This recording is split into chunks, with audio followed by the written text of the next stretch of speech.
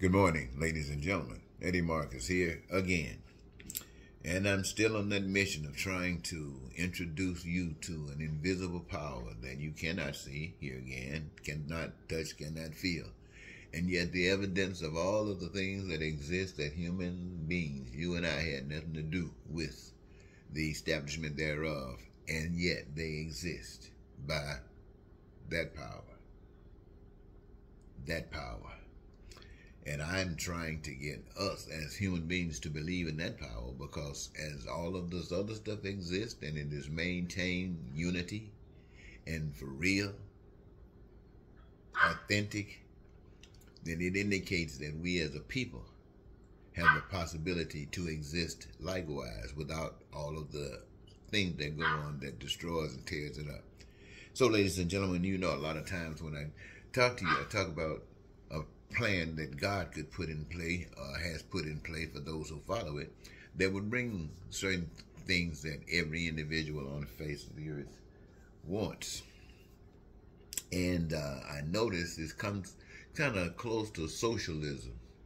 You would think that it's sort of model socialism a little after that. And yet, when you hear people in a capitalistic system talk, they talk about socialism as if it's the worst thing anybody can ever imagine.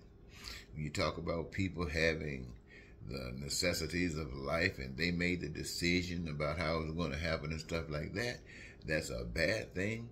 And yet, when you start talking about capitalism, a system, an economic system, should I say, and political, in which a country's trade and its industries are all controlled by private owners for profit, rather than the people controlling a system, a system that works for them, utilizing the resources that were given to them. And yet you come up with a system that allows others to find some way to maneuver and conquer and capture all of the resources and then create a system that utilizes your service, your work, for their benefit, even though it has to involve giving you a little kickback so you can buy those things that you made for your entire life. Well, and then you speak about a democracy, the thing that you want to hold over everybody about the, throughout the world, and you use it to say that it's a system of government by the whole population by the whole population. And to say that means that the pain and suffering that is endured within that system, that the neglect, the the, the evilness that exists within that system is approved by the people. You can't say some of the people because this is democracy is government controlled by the whole population. The whole population. And so you find out that whether you're talking about socialism whether you're talking about uh, capitalism or you're talking about democracy or you're talking about dictatorships or whatever you're talking about, you're always going to find the same outcome. Some got, some not. Pain and suffering, poverty, crime and violence, terror and war. All of these things are going to exist wherever evil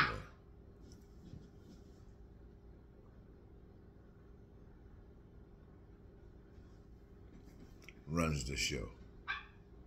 And so, no one have the authority to brag about who is righteous. In no place on the face of the earth. We are all in the same boat. We're all being controlled and deceived by evil. You heard it said that in the beginning, the day that you listen to another, that's how I interpret it. I have instill within you the plan of life, just as I have a heart and kidneys and things of this nature in your body. I've also given you that plan of life, what is proper and what is not. So follow that. And the day that you choose not to follow that, when you decide to listen to something else, someone else uh, interpretation, and it causes thus and thus and thus, it is because it is not mine. It is because it is a dead and it's taking and robbing you of life. And since that time, that's what we've been doing. We've always been trapped by that. Kings and queens and Caesars and pharaohs who wanted everybody to think that they were connected with God and they had the right plan and they just used people to be slaves and murdered them and did whatever they wanted to them to keep them in line as they stole all the resources and they fought other nations to take resources. All a big demonic force.